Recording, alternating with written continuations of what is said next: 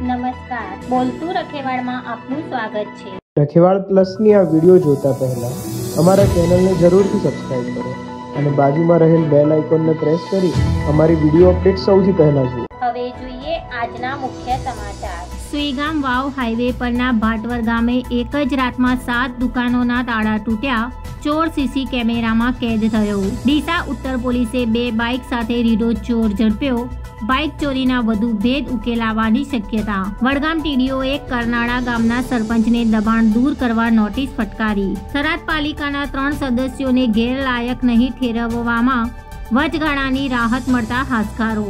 ચાણસમાં highway ઉપર અજાણ્યા વાહનની ટક્કરથી એક્ટિવા ચાલકનું મોત. સુપ્રીમનો રાજ્ય અને કેન્દ્ર શાસિત પ્રદેશને આદેશ દેશભરમાં કન્ટેનમેન્ટ ઝોન સિવાયના વિસ્તારમાં એકત્રીસ જાન્યુઆરી સુધી આંગણવાડી ખુલશે. માણસાના ખડાત ગામ પાસે સાબરમતી નદીના પટમાં રેત માફિયાઓએ ખાણ ખનીજ વિભાગના ત્રણ અધિકારી કર્મચારીઓ પર હુમલો કર્યો. ગ્રાન્ટેડ માધ્યમિક ઉચ્ચતર માધ્યમિક શાળાઓમાં સત્તાવનસો શિક્ષણ સહાયકો અને કોલેજોમાં નવસો સત્યાવીસ અધ્યાપક સહાયકોની ભરતી કરાશે. રાજ્યમાં અત્યાર સુધીમાં નવ જિલ્લાઓમાંથી એકસો દસ કરતાં વધુ મૃત પક્ષીઓના સેમ્પલ ટેસ્ટ માટે ભોપાલ મોકલવામાં આવ્યા. ધોરણ બાર સાયન્સની પ્રેક્ટિકલ પરીક્ષા ત્રીસ માર્ચથી જિલ્લાના નિયત થયેલા કેન્દ્રો પર લેવાશે. કમૂરતા બાદ લગ્નમાં બસો મહેમાનની મંજૂરી આપવામાં આવે એવી શક્યતા રાત્રિ કર્ફ્યુનો સમય પણ ઘટાડવામાં આવી શકે છે.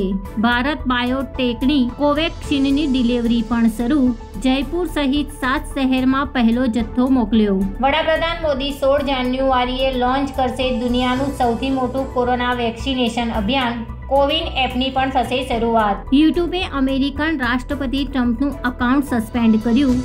ઓછામાં ઓછા સાત દિવસ સુધી કન્ટેન્ટ અપલોડ નહીં થઈ શકે. અમેરિકામાં એક જ દિવસમાં ચાર હજાર લોકોના મોત.